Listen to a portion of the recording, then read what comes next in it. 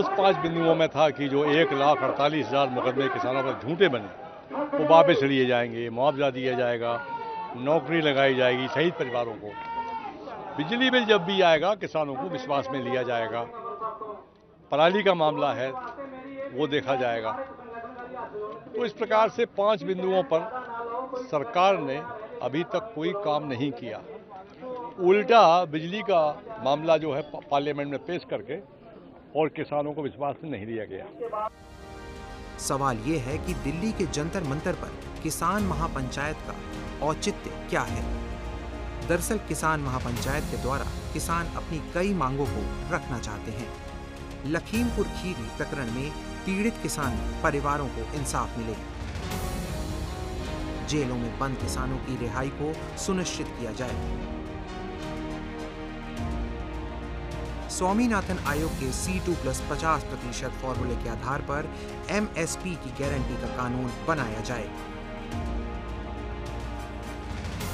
देश के सभी किसानों को कर्ज से मुक्त किया जाए। बिजली बिल 2022 को रद्द किया जाए। गन्ने का समर्थन मूल्य बढ़ाने के साथ बकाया राशि का तत्काल भुगतान किया जाए। भारत विश्व व्यापार संगठन से बाहर आए और सभी मुक्त व्यापार समझौते रद्द करें। किसान आंदोलन के दौरान दर्ज किए गए सभी मुकदमे वापस लिए जाएँ। प्रधानमंत्री फ़सल बीमा योजना के तहत किसानों के बकाया मुआवजे का तत्काल भुगतान हो। अग्निपथ योजना को वापस लिया जाए। हर पॉइंट पर वायदा खिलाफी की है।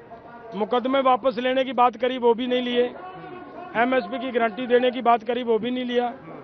लखीमपुर के किसानों को इंसाफ देने की बात की, वो भी नहीं हुआ। और उन्होंने ये बात कही थी कि हम उतनी देर तक ये बिजली शोध बिल नहीं लाएँगे जब तक किसान और अदर स्टेक होल्डर्स सहमत नहीं हो जाते। और वो भी लेकर आई सरकार।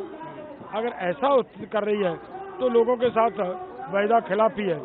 उस वायदा खिलाफी के खिलाफ लोग आज फिर एक बड़ी संख्या में बड़ी नाराज़गी से साफ़ है कि किसान महापंचायत के द्वारा संयुक्त किसान मोर्चा सरकार पर दबाव बनाना चाहता है।